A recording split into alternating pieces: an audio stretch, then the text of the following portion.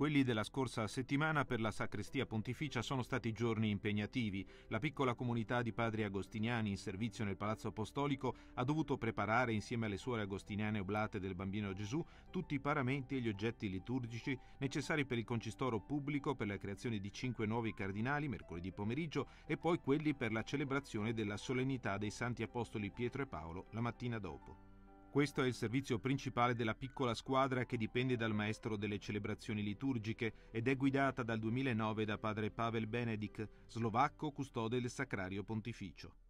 Prepariamo tutto ciò che è necessario per la celebrazione della messa o delle paraliturgie, cioè o il vespro o un'altra paraliturgia o adorazione eucaristica, eh, prepariamo tutto noi qua in sacrestia le vesti del Papa, le vesti per i cardinali, eh, per i diaconi, per i cerimonieri, per i ministranti,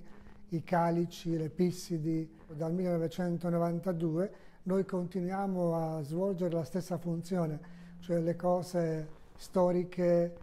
eh,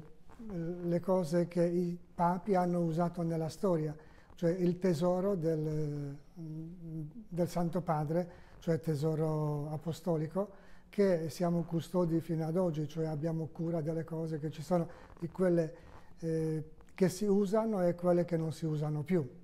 Cioè abbiamo sempre la responsabilità di custodire, di far riparare, di far funzionare tutto ciò che serve. Padre Pavel con i confratelli da diversi continenti come padre Nestor filippino, padre Jesus dal Venezuela e padre Olivier dal Congo abitano nel Palazzo Apostolico accanto alla Sala Ducale a pochi passi dalla Sacrestia Nuova alla quale si accede dalla sala reggia varcando la porta che è al lato opposto di quella della Cappella Sistina. Qui gli agostiniani prestano servizio dal XIV secolo, dalla chiamata di Clemente VI. Nel 1352 il Papa chiamò un agostiniano come custode del Sacrario Apostolico. Poi con eh, diversi papi eh, il ruolo è rimasto, ma poi c'era istituita anche una comunità di più frati, non solo di un frate. Poi nel 1600 è stato istituito vescovo, eh, che era custode del sacrario e nello stesso momento aveva titolo il sacrista pontificio. Era servizio per le cose che aveva il Papa,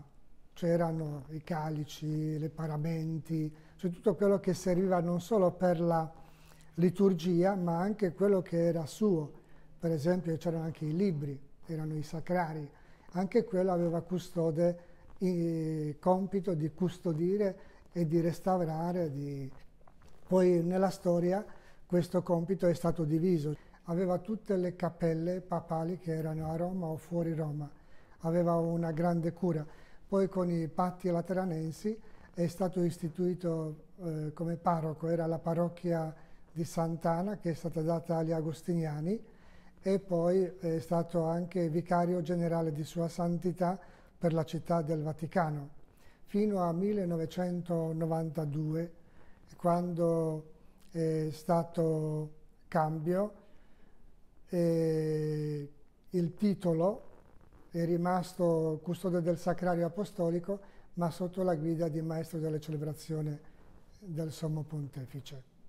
Dalla Cappella Sistina, passando per la Sala del Pianto, si accede alle Sale del Tesoro Apostolico, che custodiscono oggetti e paramenti di valore storico, capolavori di arte orafa e tessile, custoditi in vetrine, tutti affidati alla custodia del sacrista pontificio e dei suoi collaboratori, tra i quali anche dei laici. Nella sala delle mitrie, alcune delle quali si usano ancora, e delle tiare, padre Pavel ci mostra la tiara usata dal beato Pio IX per la proclamazione del dogma dell'Immacolata Concezione. Nella sala riservata ai calici, accanto ai tanti più recenti donati ai papi nel corso dei loro viaggi apostolici e a quelli gotici più antichi, anche quello usato per la prima volta sempre da Papa Mastai Ferretti l'8 dicembre del 1854.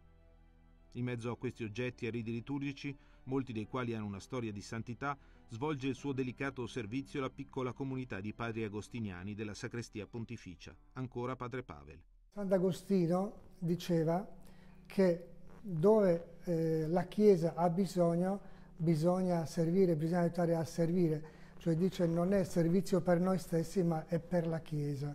Per questo Il nostro servizio qua in Sacrestia Pontificia non è contro lo spirito del nostro ordine o della nostra spiritualità, per quanto viviamo nella comunità, la cosa più importante, vivere nella comunità, eh, stare insieme e cercare di vivere in armonia.